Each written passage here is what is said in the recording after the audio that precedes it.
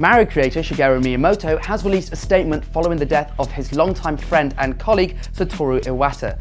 In a statement issued to IGN, Miyamoto said, I'm surprised at this sudden news and overcome with sadness.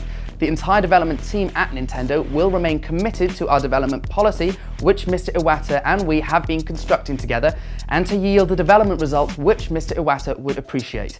While there's no news on who will become the president of Nintendo following Iwata's death, Miyamoto is already being considered a frontrunner. In the interim, he and Genyo Takeda will run the company. Nintendo of Europe president Satoru Shibata also released a statement which reads, It is difficult to put into words the sadness we feel at this time. Mr. Iwata was a strong leader, a unique figure in the gaming industry and an important part of Nintendo's history. He was a visionary in every sense of the word and we will miss him dearly. Just as Mr. Iwata challenged us to always push forward, we will ensure his legacy lives on through our ongoing work and always surprise and delight our fans. At this time, our thoughts are with his family. For more news as it develops, stick with IGN.